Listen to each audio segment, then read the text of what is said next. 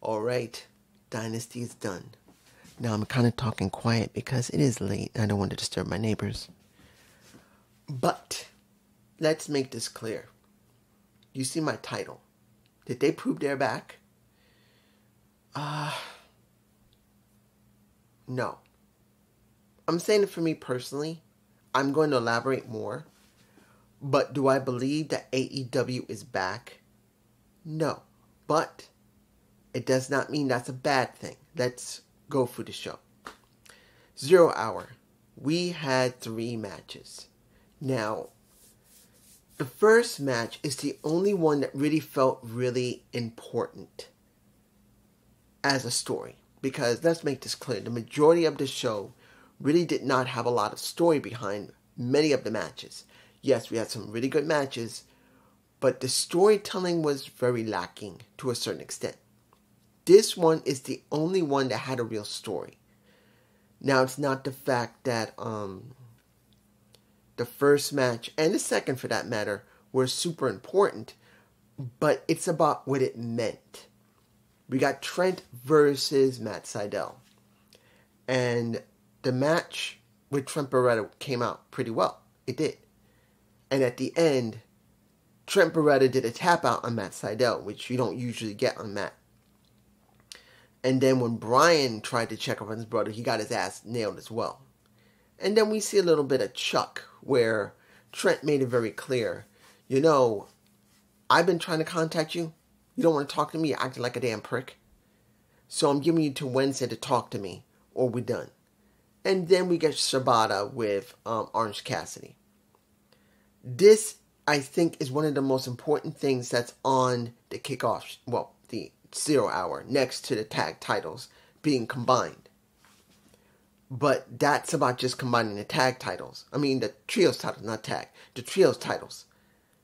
This is a real story compared to acclaimed and um, the Bang Bang gang. That that that's not as important as this because since I said more than a, almost a year ago, at least nearly a year, they've been teasing on and off that Trent Beretta is going to turn, and now that he has turned, the question is where they're going to go with it. As much as they finally went with it, will they let Trent get a win over Orange Cassidy and get possibly get somewhere? That's going to be the big question. I don't know, but you get my point.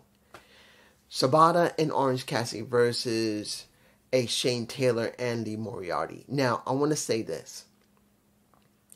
It really didn't mean much here, other than Shibata and Lee Moriarty. No, Lee Moriarty and Shibata has some okay chemistry. Shibata with Shane Taylor look pretty good. They also got chemistry. But when you look at Shibata and Orange Cassidy, they look like they should be a tag team. Honestly. I think that's why I think they should go with Orange Cassidy and Shibata. And that's why I think what they're doing with Shibata and Orange Cassidy, that they're together.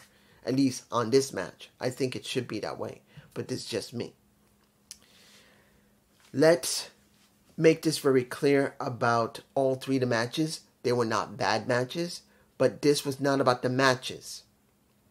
This is about whatever story you had. The first match had some story. The second match elaborated a little bit more with the commenters, well, commentators adding to it. The third match really did not have a huge story behind it. I'm sorry, it doesn't. Yeah, they had one moment when they had Jay White with a Billy Gunn, but now it's not about that. This is about what I've always believed they needed to do, like most people do. They should start combining these titles and making the undisputed, or at least retiring some of these titles. If you don't count the ROH six man tag, you have 14 titles across AEW. 14. That is a lot of freaking titles, and they need to slim that damn stuff down. So when you see this match with the acclaim, when it's called the Undisputed AEW Trios titles, I'm like, finally. They even mentioned it. They actually forgot to say it. And that was not good, but at least they did mention it. And that was the most important thing to me personally. I didn't care about the story, I cared about them combining those titles. That is all that mattered to me. Nothing else mattered. I didn't care if the acclaim retained, and I didn't care if the Cita, the, the not the Citizen Gang, but pretty much the Bang Bang Gang. I didn't care. All that mattered was combining those damn titles and slimming down the divisions. It's just too many divisions, and it's screwing up all of the company. It just is. It doesn't matter if you go for the developmental, dynamite, rampage, collision. You got too many damn titles, and they're not exclusive to any brand because they got none. So once the Bang Bang Gang won, I was like, finally, a retired set of titles. The only thing they need are new branded titles to get rid of those those those six of them, and I'm cool. So I'm hoping when Wednesday rolls around, they will be given new titles. Yes, Tony goes on screen. I don't care. Let him go on screen. Let him get those titles, and I don't give a fuck as long as they get them. Let's move on. Main card Continental Championship. Pac versus Okada. I thought it would be further up on the card. Honestly, I thought the House of Black with with Eddie, Mark, and the Adam Copeland would be the one to open the show. No. They opened the show. And I'm like, um, okay. I kind of think it's not the right spot for it, but okay. And let's make this clear. Did Okada look good? Yes. Did Pac look good? Yes. Did the crowd cheer for for their Pac, their bastard? Hell yeah, Pac is so damn over. This is my boy. Pac is my boy. I've always said one of the most favorite wrestlers I got in AEW is Pac. And it is him and it shows. People are calling them their he's their bastard. You don't get that often, other than MJF. Like, he's our scumbag. They embraced Pac after he lost, and I expect him to lose. There's no way they're to let Okada lose. Not now. It's too soon. He just got the title. It's his first defense. There's no way he was going to lose. His real major defense at a real pay per view. So they weren't going to let him lose here. And did he look good and menacing in the match? Yeah, he did. Did he look a little sloppy in some cases? Yeah but it wasn't that bad. But the thing that got me is when they embrace Pac. That made me happy. Next match was House of Black versus Eddie, Mark, and the Adam Copeland. Did I believe they were going to win? Actually, I did. I actually thought Adam Copeland would probably get the pin on Malachi Black. I thought that would make the most sense, but Malachi Black was the one that got the pin on Adam Copeland after spraying him in the face. I don't know if I got that shot. I probably don't. I don't even know if I'm going to put any images. Actually, I don't think I will. I don't think I'm going to put any images in here. So sorry, guys. So, unless um, that maybe one or two. But he did get sprayed in the face. He did lose. But the question now is what's for the House of Black? I can see Eddie still working with Mark and Mark working with Adam. I don't think there's anything wrong with that. They could be a trios group. They have chemistry together. They do. I actually like the chemistry they got. So if they're going to do something with them, I wouldn't mind it. They need more trios since now they just unified the titles. But what about Malachi Black? What about Brody King? What about Buddy Buddy Matthews? What are they doing with them? They just let them get a win over three champions. A continent, well, I almost forgot. The New Japan Pro Strong champion, he's not a continental champion, Eddie. The TNT champion and Adam, and the ROH champion and Mark. Unless they're going to have them each individually go at them so, that, so they can try and take the titles from them, I don't see anything from the House of Black going forward. I don't see anything. It's just me. Tell me what you think. TBS title. We know there was no way that Julia Hart was going to retain. House of Black won. There was no way she's going to retain against Willow Nightingale. It just was not going to happen. I wasn't going to see it happen, and it wasn't going to happen. But I got to say one thing. Was this a good match? It was a bit sloppy, but it wasn't bad. And um maybe one of the few images I'll put in here, if I'm going to put any images. Willow wasn't really paying attention. She was so focused on that damn match. She wasn't really paying attention to her ring attire that was showing a lot more cleavage than normal. Now, understand this. I'm not trying to sound like a degenerate old ass man. But I have to mention what you're going to see if you watch the show yourself or the pay per view yourself. Because you're going to notice that when it came to Willow, you were seeing a lot more cleavage than you normally see. You see a lot more jiggle than you normally saw. And I'm hoping that you'll look past that. Now, I don't have to be even mentioning it, but no one does. It's not because it's a degenerate thing or some guy who's horny or something. It's that if you really want to get the experience of what's going on in this match, you got to know what's going on. You got to know how both women are working.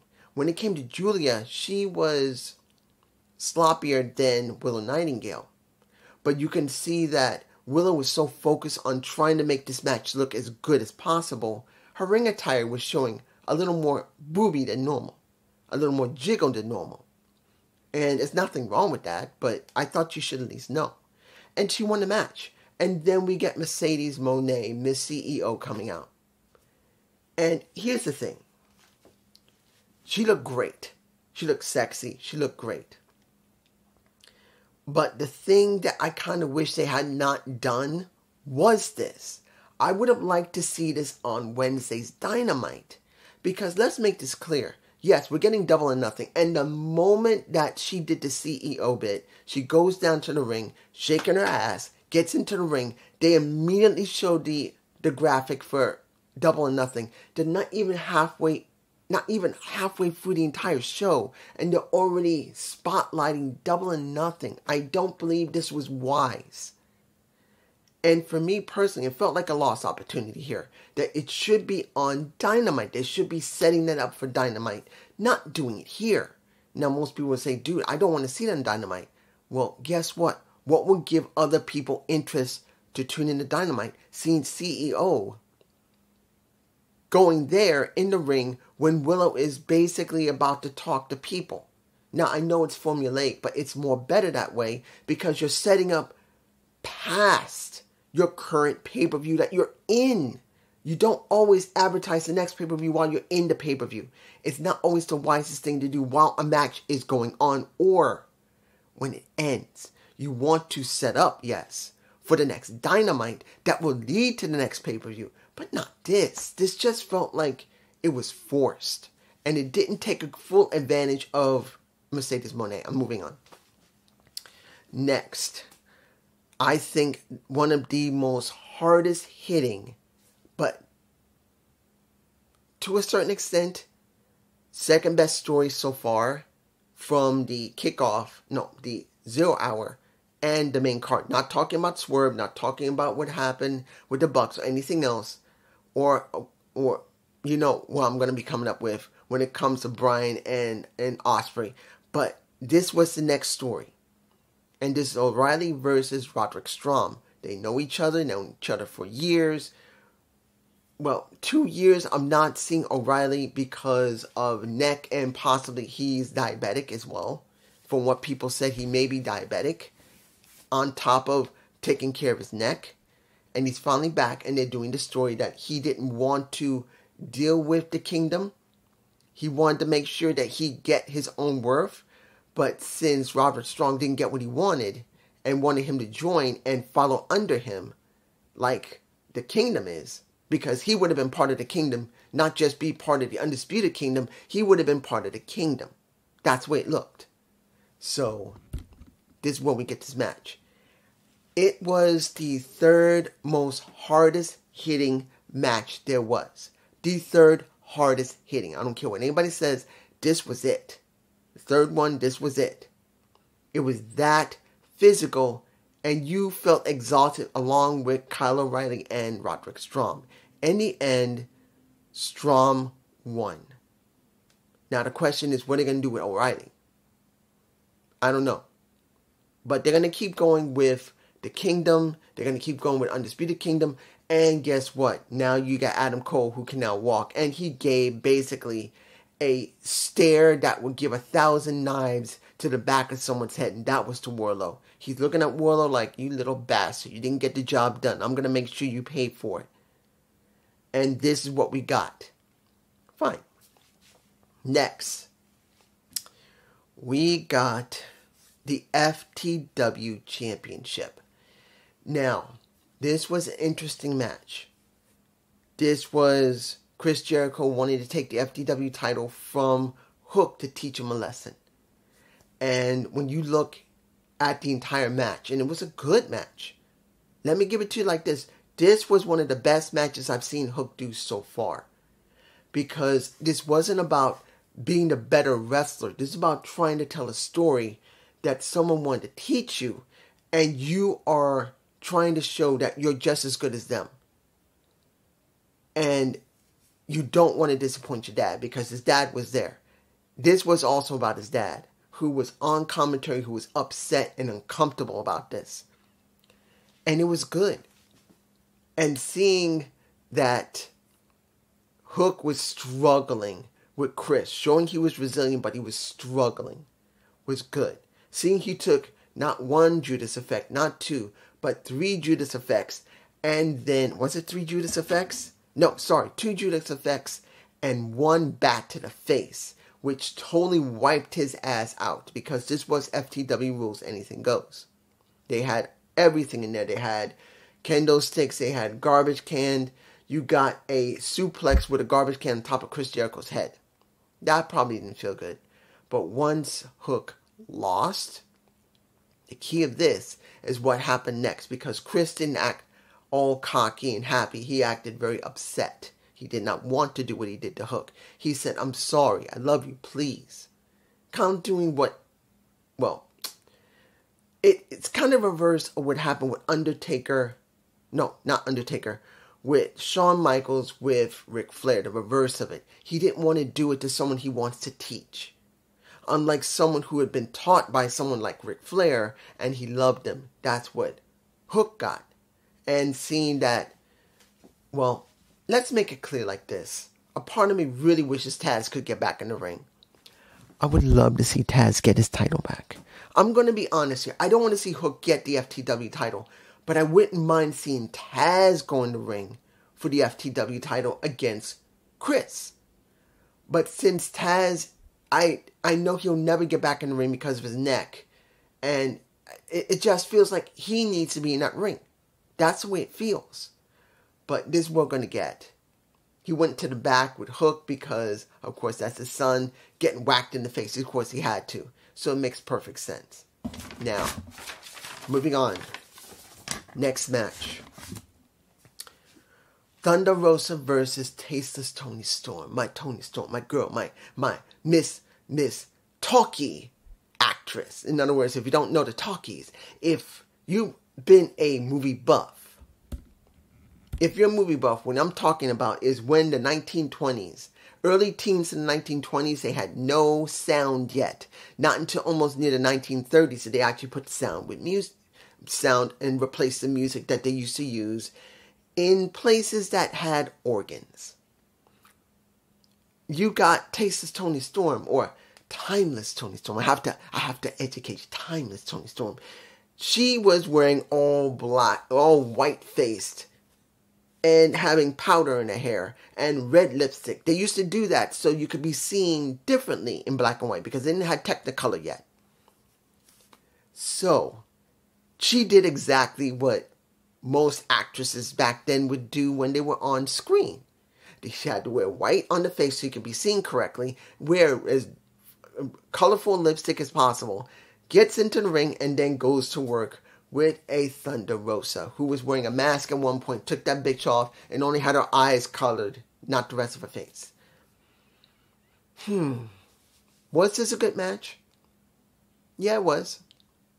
Was it better than Willow and Julia Hart? Yes, it was. It was a better match. But I gotta say this. When you look at Thunder Rosa, she still looks like the type that wants to do the way she used to, the style she used to do, and she's trying to combine it with more power, and she's just not there. She's somewhere in between trying to be as fast and agile as possible and just barely strong enough to get what you want done. She needs to go away from agile, be fast, but get stronger. That's what she should focus on. Strength now. That's just me. But the match was still pretty good. I was fine with it. It was better than Willow and and and Julia Hart because yes, Julia did do pretty well, but you could tell the one who was really shining there was a Willow Nightingale. She's a better wrestler than a Julia Hart who has improved, but just there. In the end, with a little bit of help from, well, Luther got involved a little bit. A little bit of Mariah May got involved. But in the end, we did get, guess what? Our Toni Storm winning. There was no way I wanted to see Thunder Rosa win. There's no way. I, there's no way she was going to win. I knew she wasn't going to win. If she won, it would be a big mistake. You got one of the rare women who has been booked very well, who has one of the most fun and interesting gimmicks they got. And you're going to actually drop the title to a Thunder Rosa who just came back, whose gimmick is not really much developed other than what it was before she left. And she needs development. I'm just saying. Now, here's the match that got scary. Will Ospreay versus Bryan Danielson. This was the best match of the night. If you're going to talk about how well the match was constructed, how fast paced it was, how well technical it was, this was it. It was not. This is not about a story. They say this is a, a dream match. That's what it was. It was only a dream match. That's what they focused on. This wasn't about if the legacy of Bryan Danielson is in jeopardy or the rise of a Will Ospreay is about to take the that shine away from Bryan Danielson. No, this was just a straight out match to see who the best were. This was the best match. Not the best story, but match. So, what we got here was very well done, but very, very, very scary. Because even though the crowd was going crazy, they were loving it. They say we were not worthy. We love this. This is awesome. Of course, all the stuff they normally do. Chanting for Ospreay, chanting for Bryan. It was the end of the match. When you see that, I can't remember what the name of that Tiger Driver is. It Tiger not Tiger Driver 94 or 96? But when he got put right onto the back of his neck, you see Bryan Danielson look completely fucked up. And then when he got that hidden blade, which I was concerned halfway through the, the entire match, because Will kept his elbow pad on. And the story was that he wouldn't take it off until he absolutely had no choice. Yes, you did get at least one or two hidden blade already to a Bryan Danielson, one on the outside when he dove off when Bryan Danielson was being checked. But I'm going to tell you this.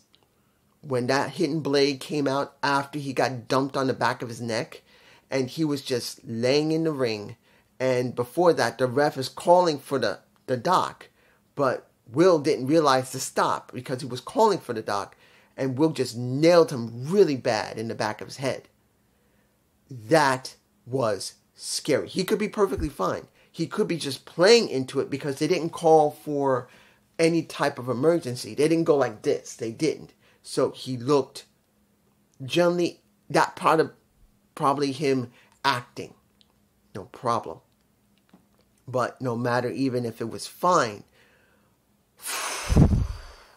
he is nearing retirement, guys. Understand.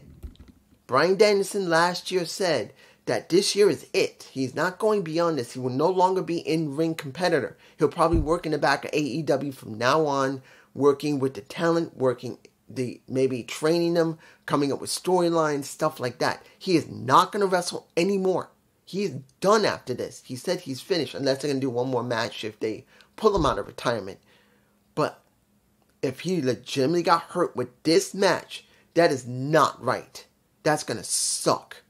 And seeing Will being afraid and worried after that, it's understandable.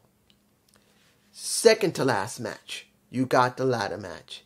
EVPs versus FTR to see who is the third AEW Tag Team Champions because this is the last match for the tournament. I'm going to tell you this. I knew the match was going to be fine. I knew there might be blood. And there was blood. and it was a damn good match, but I didn't care.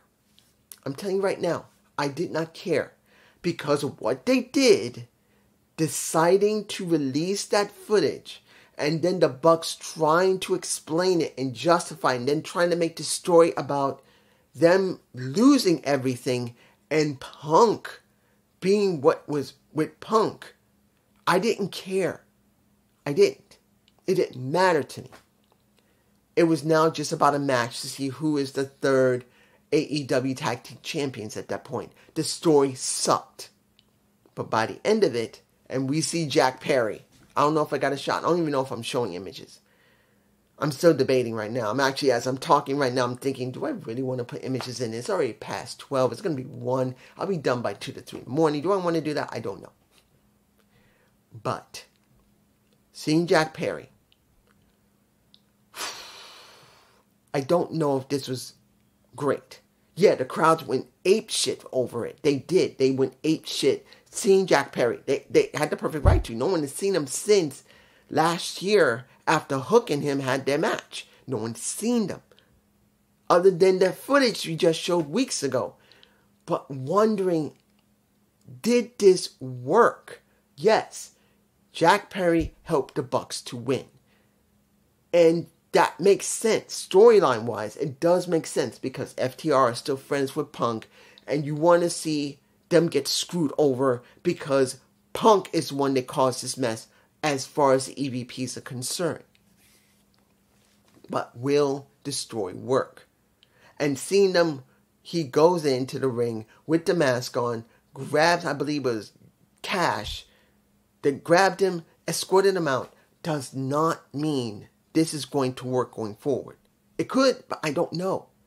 For me personally, I didn't care about the story because it sucked the way the story had to be constructed. Punk did something, Tony and everyone else reacted, released a video they shouldn't have released, tried to make the best out of it by putting into a storyline, and now the story has been ended. Jack Perry is shown back up. People may be excited, but I'm not. Why should I be? Why should I be excited over a story that should never been done? I'm just saying. Final match. Samoa Joe versus Swerve Strickland, the best story of the entire thing. I'm going to say this. The first of somebody is important. Swerve's the first black man from America to win the AEW championship and understand the relevance of that. But they didn't do that for Samoa Joe. They barely did that for a Remember, the first Jewish AEW champion in MJF. They barely did. MJF had to state it himself. And they didn't even talk about in commentary saying, you see our new Jewish champion. They never do it. Joe, they didn't do it. But Swerve Strickland, because he's black, they did do it. That's a double standard. And I don't like that. You got one Samoan one Jew. You don't even say how important that is. But you do with Swerve, which it offends me. But even though it does feel offensive to me personally, I can't deny it and I won't deny it because it was important. I just wish I had done it with the others. Match was very good it was done very well. It was constructed very well. I got a little nervous at one point when Swerve kind of landed on the concrete the way he did. He looked like he might have hit his head, but he seemed to be all right and he won. But now here's the big question Who will be Swerve's first opponent after he deals with Samoa Joe? Because it ain't over yet. It's not going to be over with Samoa Joe. He's going to want to get his championship back. He's going to want to. So he will be dealing with Joe for a bit longer. He, it's going to happen. But who will be his first opponent? Will it be Hangman Page? Will it be MJF if he comes back? I don't know. But I am interested in seeing who will be the first person after Samoa Joe when he gets a rematch. It will be quite interesting to see how far they're gonna push a Swerve Strickland. They just put the entire company on his back, and now they're gonna let him run with it. The question's gonna be, who are they gonna pair him with to make sure that he can handle that responsibility, which it looks like he can, but he's got to prove it. Look, guys, like I put in my title, did they prove their back? No, they have not. This entire show felt like they were trying so hard to prove that they are back, that they proved they're not. Yes, they had great matches, but not much storylines. They brought back Jack Perry, yes, but the story that Jack Perry was brought back in sucks. Seriously sucks. The women's division is still not very strong. We still have 14 titles. Look, AEW Championship, ROH Championship, the TNT Championship, the International Championship, the uh, Continental Championship, the ROH Tag Championship, the well, now it's not, yeah, the ROH Tag Championship, the AEW Championship, now the Unified Trios Championship, the Pure Championship, the TV Championship, now the ROH Women's Champion, the ROH Women's Television Champion, the AEW Women's title, and the TBS title. That's 14 freaking titles that needs to be slimmed down. They got so much work to do. And they're like behind the eight ball right now. And I'm not saying that AEW is going out of business. They're not. Let's let's make this clear. If TNA isn't gone, AEW is not going anywhere. They're not like Turner with WCW, who is badly mismanaging it. They got TV deals, they're making good money. It's just the attendance is not very good in the arenas. It's just not. This one had great attendance in in St. Louis. It had great attendance. But normal shows attendance is down. But that doesn't mean they're not making money. Like I said, these places are making money. But the question is, will you care? And do you believe that they're back? I know people are going to say they're back. I'm not. I'm not going to say they're back. But I'm not going to not. I'm, I'm not denying that this pay per view wasn't good. It was very good, but it was very worrisome how far they had to go to try and convince people that this was them coming back from what happened with CM Punk and his statements. But this is just me. Peace.